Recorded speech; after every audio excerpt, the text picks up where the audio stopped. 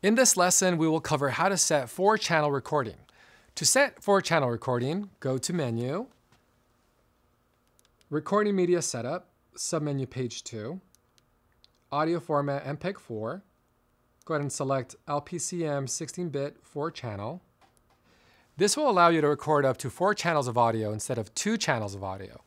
Next, on the exterior back of the camera, set the input to analog. So that's up here on the top right. You have a couple of options here. You have mic plus 48 volt.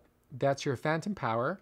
That's for any mics that require phantom power, for example, this condenser mic. You could also set it to mic for any microphones that have a power source like a battery. You could also set it to line in case you have a mixer or recorder that is feeding audio into the camera. Pro tip, when connecting a microphone or device that does not support phantom power, Make sure to set the corresponding input switch to mic or line. If you set the switch to phantom power, the microphone or device may be damaged.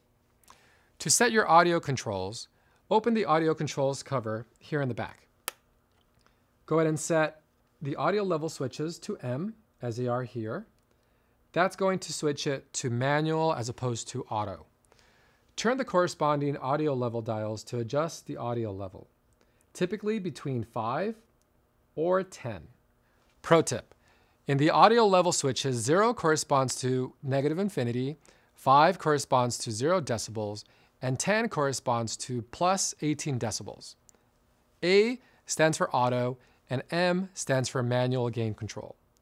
Always set to M or manual because auto will constantly modulate the audio levels, and if someone is far away from the camera, the noise floor will also be amplified, picking up all the noise in the space. To create safety tracks, go to Menu, Audio Setup, Submenu Page 2, Audio Rec Level 3, switch that to Manual, go to Channel Level 3. You could go ahead and dip that down to 30 or 20. Do the same for Audio Rec Level Channel 4. Go to Manual, channel 4 level and bring that down so the level of the VU meter is also lower than your channel 2. This creates audio safety tracks to channel 3 and channel 4 at a lower audio level than channel 1 and channel 2. In case you overmodulate, you'll have audio channels that are recorded at a lower level. Now, let's continue learning together. Please join me in the next lesson.